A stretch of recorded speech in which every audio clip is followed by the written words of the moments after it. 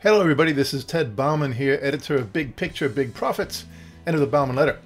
Today is the first part of a two part series on why I think cryptocurrencies are a scam. I get lots of people writing into me asking about cryptocurrencies, and I decided, well, now's the time to let my freak flag fly.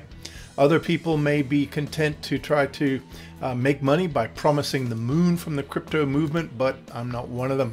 I'm going to tell you exactly what I think. Before I do, however, click on the little eye above my left shoulder up on the screen there. You can uh, see the sales pitch for the Bauman letter. We're doing very well this year relative to the market because I'm focusing on real assets that provide real return. Now, let's start today's video with a quote Bitcoin would not be a trillion dollar asset if the European Union and the United States were doing their jobs of maintaining sound money. That's the real reason they don't like it. It exposes their underperformance. Now, encapsulated in that quote, I think, is a lot about the theoretical, or shall I say, ideological underpinnings of Bitcoin and cryptocurrencies, and that is that they are a response to what is supposed to be the undisciplined approach of governments who create new money in order to address economic problems. Now, I'm going to come back to why that's a bunch of poppycock just now, but I want you to think about that. From what I'm going to tell you, do you think this is really about trying to replace the existing monetary system? I hope to convince you that it's not. Now, before I start, I'm going to simplify things by referring to Bitcoin rather than to cryptocurrencies in general. And that's because Bitcoin is the most familiar to everyone, and also because the vast majority of alternative cryptocurrencies are actually Ponzi schemes designed to take money out of your pocket and put them into the pockets of the people who create them. The second thing is most discussions of Bitcoin and cryptocurrency start with a discussion on blockchain. I'm not going to do that. That's because it's a distraction. The fact that blockchain is a technology that uh, does certain things doesn't change anything about the role or the status of cryptocurrencies like Bitcoin. It's kind of like talking about the social effects of air travel and then focusing on how the wings of an airplane work. You don't really need to know how the wings work in order to travel. You don't need to understand Bitcoin or, sorry, blockchain to understand uh, what I'm going to talk about with uh, cryptocurrencies and Bitcoin. So I'm going to ignore it today. The third thing is, uh, here's a video. I'm going to flash a, a, a, screen grab from this guy's website. It's a guy named Dan Olson. He's Canadian. He released this video at the beginning of the year, at the end of January. It's called Line Goes Up, the problem with NFTs. It's got over 7 million views. I would strongly recommend that you watch this video because it's one of the most powerful indictments of uh, crypto that I can ever, I've ever heard, and I think it's something everybody should listen to. And what? Now, before we start, let's talk about the characteristics of money because Bitcoin is claiming to be an alternative to money. Now, what does money have? Well, money has a couple of different characteristics. One, it's reliable and widely accepted unit of account and means of exchange. Number two, it's a stable store of value against a basket of commodities that people use on a regular basis. In other words, you want the price of a dollar to be relatively stable. You see what happens when it isn't with inflation like we're experiencing now, people freak out. Now, both of these conditions require that a currency have low volatility and be uncorrelated to other asset prices, right? There's no point in having a currency that keeps going up and down in value constantly because you won't want to spend it because you don't know what it's going to be worth tomorrow. And if it's correlated closely to other asset prices, then again, it's going to vary not in relation to things you want to buy or um, the things that you sell. It's going to uh, vary in relation to something else over which you have no control. The next characteristic of money is that should it be cheap and easy to use. And a last one, which a lot of people ignore, is that it should be able to be stored in physical form if needed to reduce your dependence on external systems like electricity or the internet. Try spending your Bitcoin without both of those. Now, that the reason I mention that is because people talk about Bitcoin as though it were a currency. I'm going to show you why it's absolutely not a currency and never will be. The second thing they often talk about is that it's an asset and that it's something that you want to hold because it's going to become more valuable in the future. Now, Bitcoin is not an asset, and that's because assets have to satisfy one of the two following conditions. Assets create value either because A, they are intrinsically useful and solve a need or solves a problem um, that many people have and recognize that it solves that problem and therefore want it. Or number two, it produces a yield in and of itself and doesn't depend on price appreciation to do that. For example, a real estate investment trust that pays a yield of 8% a year is an asset that provides a yield that whether the price of uh, their shares go up or down, you still get 8% dividends. That's an asset. Bitcoin isn't. Now, here's why cryptocurrencies are no good and why I don't recommend them to anybody. Number one, Bitcoin fails on every definition of a currency. It's not widely accepted as a unit of account and means of exchange. And one of the key reasons for that is because it's wildly volatile. That means it's not a stable store of value. Here is a chart over the last one year showing Bitcoin's price. Look at that. Right now, it's 30% less uh, valuable than it was on this same day one year ago. But look at the volatility down, up, down. Now, the reason why that's so important is because when a currency is so volatile, when it goes up and down, and here I'm not talking about inflation, I'm talking about both up and down, people say to themselves, well, I don't want to spend this today because tomorrow it may be worth more and I can get more if I wait until tomorrow to spend it. Or they say, wow, if this thing falls tomorrow, I want to get rid of it. Uh, I don't want it, so therefore I'm not going to accept this Bitcoin as purchase, um, uh, you know, uh, for people who want to purchase things from me, because if I accept it, it might be less valuable tomorrow.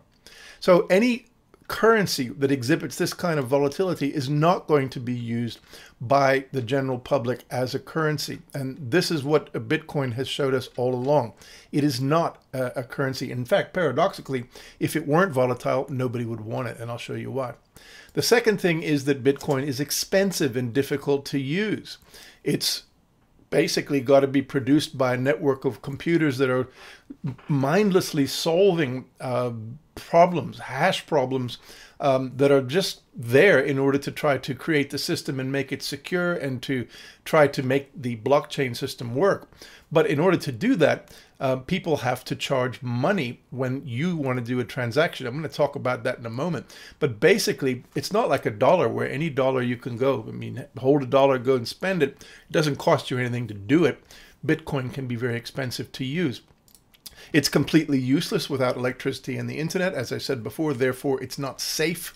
It depends on those systems over which we have no control, something which its supporters tend to argue is a feature, something that you want, that it's not subject to the control of states. Well, electricity is subject to the control of the state, and so is the internet.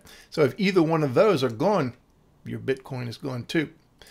The third problem is that Bitcoin is strongly correlated with other speculative assets, particularly like growth stocks, which means that it's not a hedge against anything. When the price of growth stocks fell earlier this year, so did Bitcoin. That means that um, holding Bitcoin as a way to preserve value when other assets are losing their value doesn't do anything for you. It, in fact, what it tells you is that it's being treated as a speculative asset, just like the other assets with which it is correlated. And that means that holding it um, in the idea that it's going to be digital gold is pointless because it's going to go down when the assets that you're trying to hedge against also go down. It's got a major scalability problem. That's the fourth problem. The Bitcoin's uh, blockchain system uses what's called a proof of work protocol. That means um, that the network can't handle very many transactions over short periods the system simply would get overwhelmed if lots of people were trying to transact using Bitcoin to do things like buy pizzas, which is one of the most famous episodes, one of the first things somebody did with a Bitcoin. But it also means that those people who process Bitcoin transactions, the miners, charge transaction fees because it's expensive to run those big computer systems. And they are vastly higher, those fees, than debit or credit cards. Now imagine going to Starbucks and saying, I want to buy a $4 cup of coffee. And your choice is either I'm going to have to wait for several hours for a Bitcoin miner to get around to processing my transaction, or I'm going to have to pay $5 for a $4 cup because that's what the Bitcoin miner charges me for the transaction. That's not something that anybody's going to want to deal with. Now, the problem is that the more people who use Bitcoin, the worse these problems become. That's because the higher the um, volume of transactions, actual buying and selling using uh, Bitcoin, the more the scalability problem arises, the slower the transactions, and the more you're going to get charged to do them. So, for most people, um, Bitcoin is a non starter as far as money is concerned. It's much easier just to use cash or even to use debit or credit cards. Now, as a result of that, the primary uses of Bitcoin are either for speculation or for illegal activity, neither one of which contribute any value to society. The paradox here is that if Bitcoin were to stabilize and become less volatile and behave more like a, a true currency, there wouldn't be any reason to speculate on it, would there? So there's a contradiction based or baked right into the basic notion of Bitcoin. If you think Bitcoin is going to become a currency, then it's not going to appreciate. In fact, it's probably going to go down in price the key thing is that Bitcoin is not a, a, store of value. It's not a means of exchange. It's not something that is ever going to be useful as a real currency. And therefore, its only use is for speculation. If it did start to behave like a currency, then it wouldn't be useful for speculation. So what's it good for? Now, there's a second class of problems that a lot of people actually ignore, and that is the relationship between Bitcoin and all the other currencies out there in the world. Now, in 1972, liberation, or sorry, libertarian economist Friedrich Hayek proposed that the United States allow private enterprise to issue their own currencies. The idea was that this would allow them to compete with one another until the most efficient currency emerged and beat out all the others. Now, that's a core argument of Bitcoin supporters. But as the history of the United States shows, unregulated competitive currencies cause way more problems than they solve. For example, between 1837 and 1960, sorry, 1863, the United States experienced what was called the free banking era. Paper currency was not issued by the federal government. It was issued by individual banks with no regulation. Now, theoretically, each bank's dollar notes were backed by assets held by that bank, and holders of the notes could exchange them for those assets if they arrived at the bank and said, hey, give me a dollar's worth of what you got. But three problems destroyed this system. They're the same problems that would destroy Bitcoin. First, there was no way to know whether or not a bank actually had the assets to support the cur- or sorry, to support the currency that they issued. That led to a situation where the notes from different banks would not trade on a par. For example, a dollar note issued by a bank in Wyoming could be trading for 60 cents on the dollar, whereas one in Nebraska, uh, Nebraska could be trading for a dollar 20 um, as opposed to its face value of a dollar. And those values would fluctuate depending on the supply of these notes and the market's assessment of the bank's stability. This is something that we're already seeing in the crypto space, not so much with Bitcoin, but with other currencies, and also in the relationship between Bitcoin and the US dollar and other currencies. Secondly, all these competing currencies made economic activity incredibly complicated and actually undermined the economy. Businesses would pursue, or, sorry, purchase goods in one bank's notes, accept payment from customers using another set of notes, and potentially give them change in a third set of notes. Because the value of those notes deviated from their face value of a dollar, people were reluctant to use them. And as a result, in many cases, people were forced back into barter. So the free competition between different currencies actually had the paradoxical effect of undermining economic activity. The third problem of the free banking era was that insiders who had access to non public information about the banks, uh, for example, banking uh, officials and so on, who knew how much assets the banks held, could manipulate the system for their own profit at the expect uh, or the expense of merchants and everybody else. So the problem that we had with that uh, period was that without a single currency that everybody understood and trusted and used, the system actually became dysfunctional and held back economic activity. Now, today, instead of private banks issuing their own notes, what we now have is private tech platforms doing the same thing with their own cryptocurrencies with the same results, as we'll see from my next point. My third point and my last one for today is that Bitcoin's only function is price appreciation untethered to any economic activity. Remember, if it's not a currency, um, then it's not being used as a currency, it's being used as some sort of an asset. But an asset has to provide real use value, uh, irrespective of its face value. In other words, it has to do something that's actually beneficial for people. And if people aren't using it as a currency, it's not doing that. On the other hand, any real asset provides a yield yield, and Bitcoin and other cryptocurrencies don't provide any yield. Instead, Bitcoin creates no value. Any money that people make from buying low and selling high in Bitcoin or any other cryptocurrency must come from somebody else who brought in, who bought high um, and or end up selling low. In other words, there are as many losers as winners in cryptocurrency.